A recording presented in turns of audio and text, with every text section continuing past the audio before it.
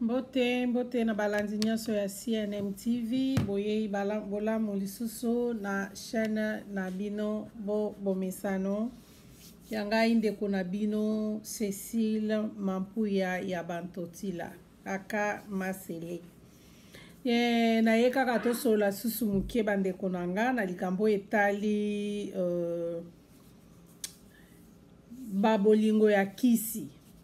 mabala oyo eza ke hey, wana akanga mwasi na ye na kisi to mobali mwasi akanga mobali na kisi mabala ya ndenge wana esukaka kaka mabe ememaka bato mosika te boko regne titititititi soki epoli donc euh, esukaka kaka mabe nakotya audio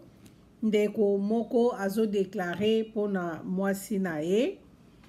hein? donc mwasi asambelaka mpenza makasi me ake kozwa mai na ye soki o oh, spirit, bain spirituel mais na foto ya, ya molangi yango batia elongi ya bete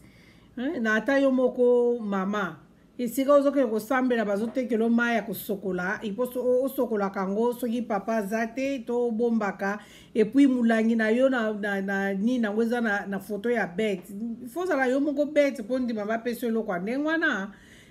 mpo motu asambelaka nzambe donc euh, ase confiaka na nzambe kua libala ezalaka kaka eloko outaka e-, epai ya nzambe se donc ça dépend ya circonstance nyonso bokoki kokutana na yango ezalaka eloko parce que bible elobi il n'y a rien de hasard sous le soleil nyonso ezalaka esi esalama kala donc biso tovivaka kaka oyo nzambe esi abongisa donc yango tokutanaka na yango nakoyokisa bino audio oh. Ah, ozela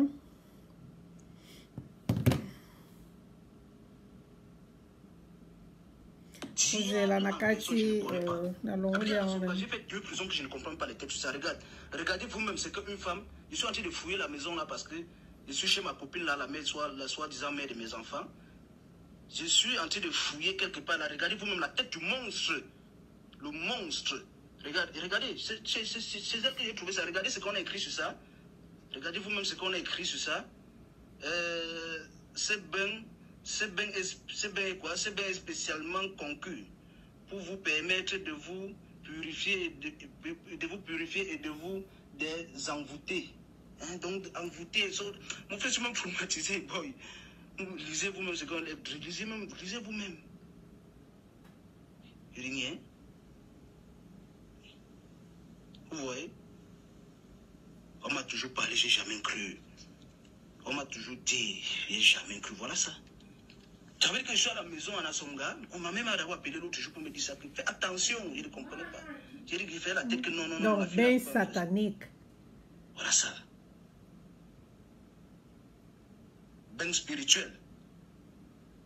Rasala est du monde, ça veut dire que je suis à la maison avec le monde, c'est le Njunju, mon frère.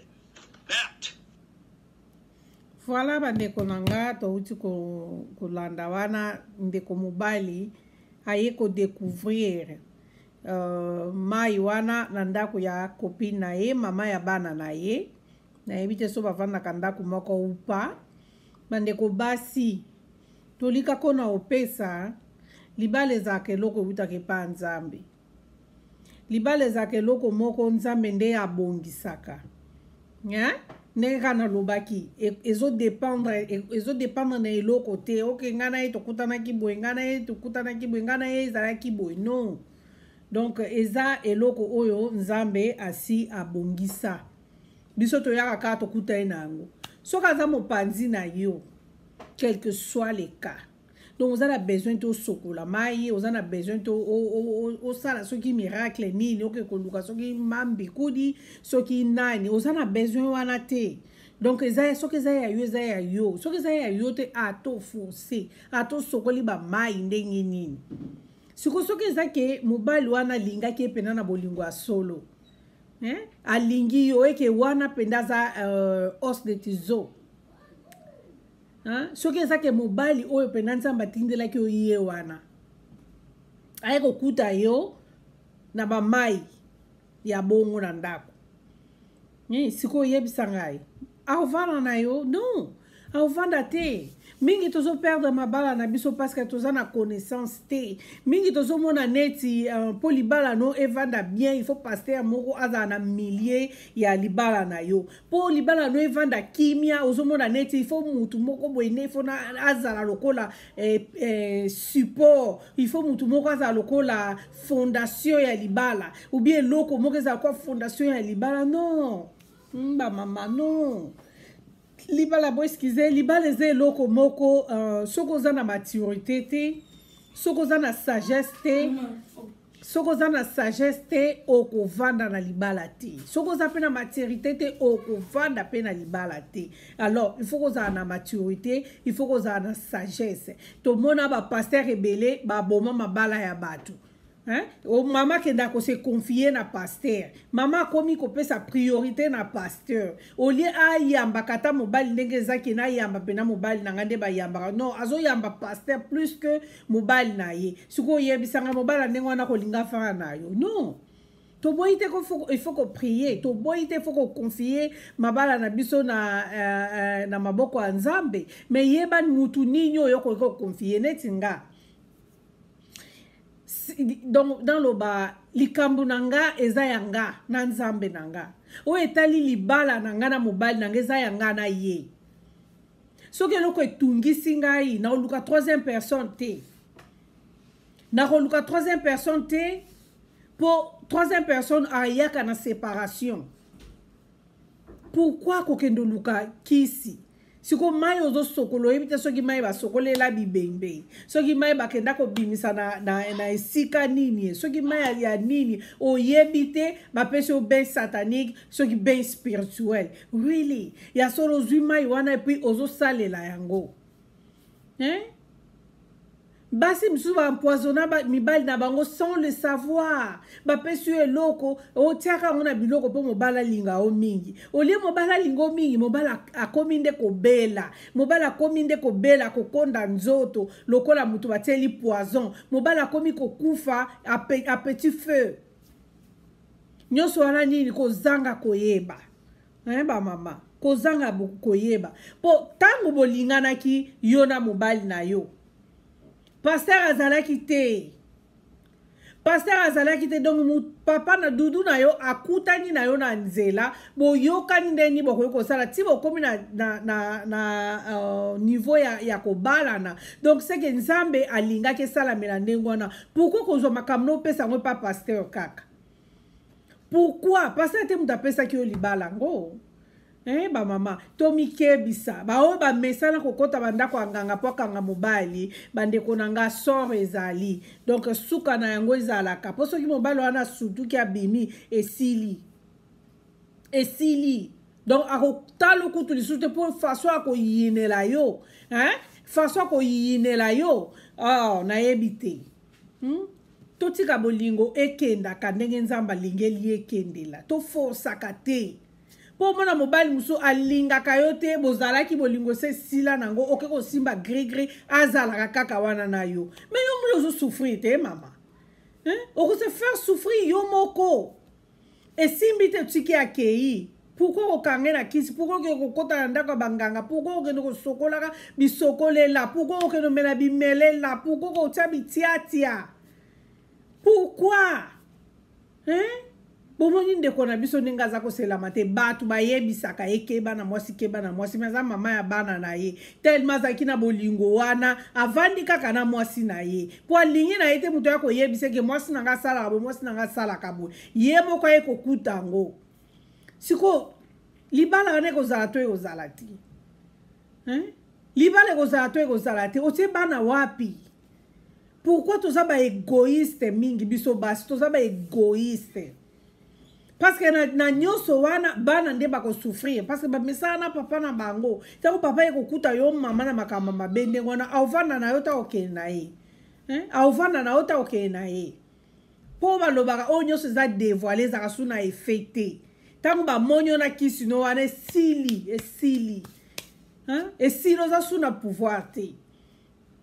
mwa toli ya moke na ye nango mpo na biso bamama baoyo tokoti na mabala deja baoyo bazoprepare kokota na mabala baoyo bazoluka mpe mabala libala nzambe kaka apesaka